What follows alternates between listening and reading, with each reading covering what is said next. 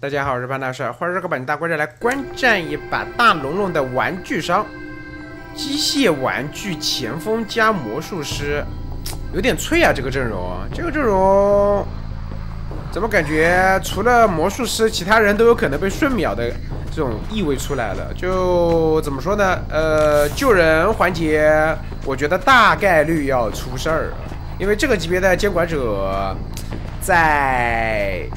防守端一旦是那种就是有机可乘的这种阵容当中，哎，拉火漂亮，好的，直接这个开局应该是一个保平争胜了。这上来找到剑士，剑士开波车，他也只能开波车，他只能在这边躲掉火，然后吃实体刀开车，直接开嘛，直接开好像意义不大呀，直接开这边拉鬼屋。但你出了圈以后，这边有紫火，位置上面架住，吃一刀，吃一火，一刀人没了呀。五棵树，这边的话火转过来，三二一，找脚。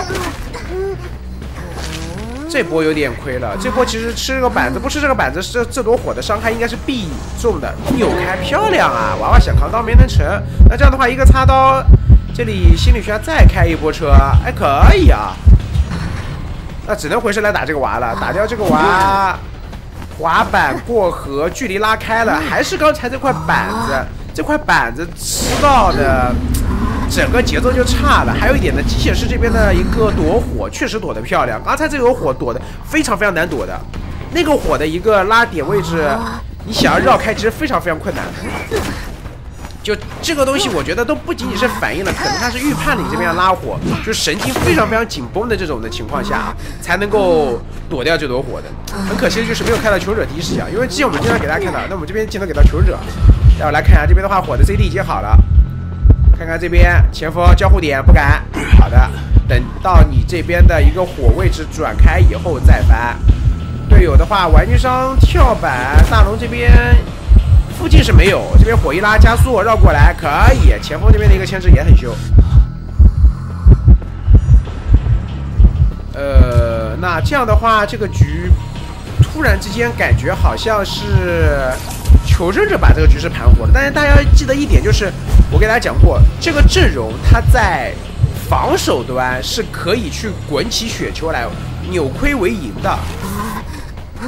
前锋不抓了，再换抓玩具，大龙的玩具前头给杀，一火。大家看到刚才这朵火了没有？大龙这边的这个玩具商吃的这朵火，刚才机械师。躲的就是类似的这朵火，就这个火，其实你光靠反应，我觉得很难反应过来的。等到你反应的时候，这滑其实很很难的。机械师刚才吃的躲掉就这样一朵火，火已经过来了，他立马做出反应往旁边一缓。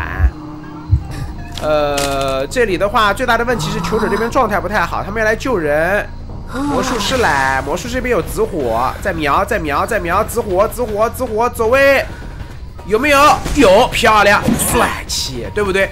就这个阵容，它偏脆的。其实相对来讲，魔术师这边他主要不舍得交这个魔术棒，啊，不舍得交这个魔术棒。就刚才交个魔术棒的话，我觉得吃一刀人应该能救下来。但不知道魔术师带的是个什么天赋了？应该不是飞轮，飞轮的话，刚才应该就飞轮夺火，他应该是一个搏命。那这波没救下来，求者这边应该是瞬间崩盘的，因为外面两个人状态不好，救不了人。虽然说那外面两个人一人半颗球，但这这个球。并不能够保证他们能把人救下来，结束了。突然之间的一个暴毙啊，就是因为阵容决定了他们的一个容错率很低，他们的一个这套阵容的一个容错率很低。现在他看到两台外面两台马机在动，过来找前锋，锁定一个死抓。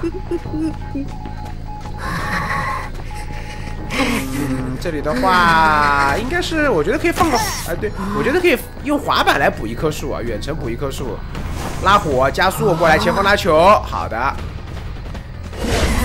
滑板再跟过去，交闪现，三二一，还有隔窗刀，机械师也没办法，这个没办法，大图这套阵容，前锋受了伤以后，求者确实救不了人，只有魔术师去，魔术师那波嘛，怎么说呢？嗯，只能说有点可惜啊，有点可惜。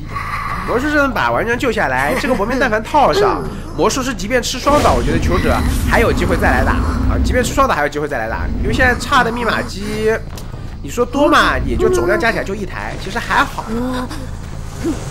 因为搏命套完以后呢，这个魔术师就不会被上挂了，啊，他就不会被上挂了，因为他这边是可以干嘛呢？就是魔术师和那个玩具商分开，然后你这边挂飞，能卡半个的话最好，卡半的话呢，魔术师大概率就交自己起来了，卡不了半过半的话呢，那有可能魔术师还要被挂，这个也不太好说。